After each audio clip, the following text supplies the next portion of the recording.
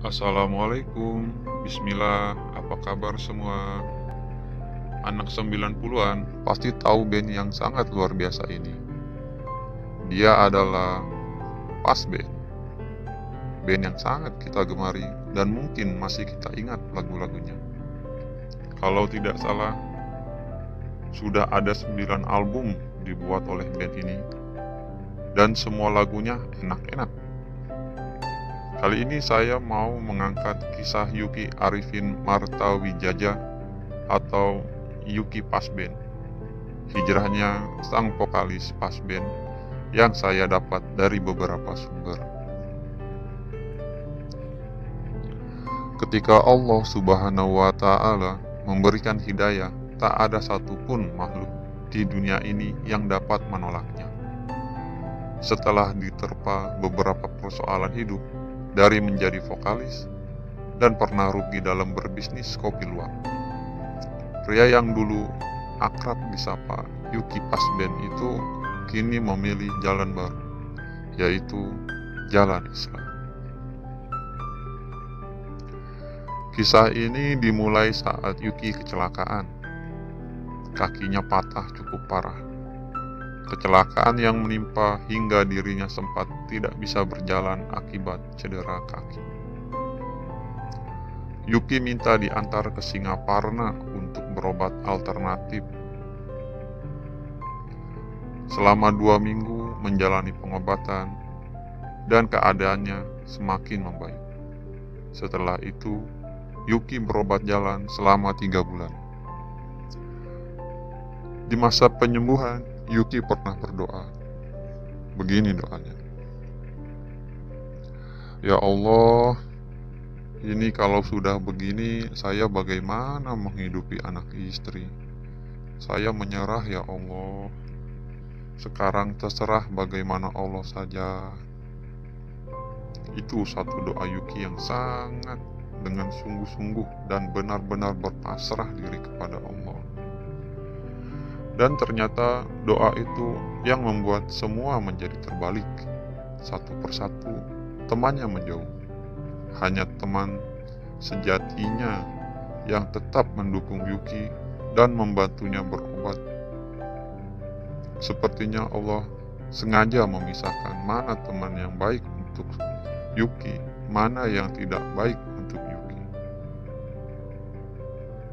keadaan kaki Yuki mulai membaik hari demi hari, minggu demi minggu. Suatu hari Yuki diajak kawannya ke masjid untuk itikaf. Sedikit demi sedikit, mulai pikiran Yuki terbuka. Dan berawal dari keikutsertaan dalam itikaf tiga hari bersama jamaah tablik Yuki merasa langsung jatuh cinta dan memutuskan menghabiskan sisa hidupnya untuk berdakwah. Bagaimana tidak jatuh cinta? Pada saat Yuki mulai belajar Islam, di situlah semua perjalanan hidup Yuki terjawab oleh Al-Quran dan hadis. Begini kata Yuki. Pada saat saya buka hadis, loh kok ini percis ya kayak kehidupan saya. Dibuka Al-Quran, semua permasalahan yang dialami sudah ada jawabannya. Saat bertemu dengan Islam, dia mengakui bagai tersiram air hujan di saat kegersangan menerpa jiwanya. Seluruh kegelisahannya akhirnya terjawab dengan Al-Quran dan hadis yang ia dengar dari kajian-kajian yang diikutinya. Begini kata Yuki. Dari tahun 2008, sebenarnya saya sudah cari-cari ilmu agama. Perasaan hidup saya bukan ini yang dikejar. Cari dunia, cari tabungan, cari ketenaran, kayaknya bukan seperti itu. Kayaknya saya sudah salah jalan, batin sudah terganggu. Kayaknya bukan itu yang saya cari. Kecelakaan yang dialaminya merupakan sebuah peringatan dari Tuhan. Dia menyadari jika selama ini telah bersikap sombong dan jauh dari ajaran agama sehingga takut akan ditinggalkan oleh Allah. Itu yang membuat Yuki jadi kecanduan sekaligus ketakutan. Kecanduan akan pertolongan Allah menjadi kecanduan terhadap petunjuk-petunjuk Allah. Menjadi kecanduan akan fasilitas-fasilitas Allah yang Allah berikan dalam kehidupan Yuki dan ketakutan kalau Allah tidak lagi memberikan yang Yuki butuhkan dalam kehidupan ini.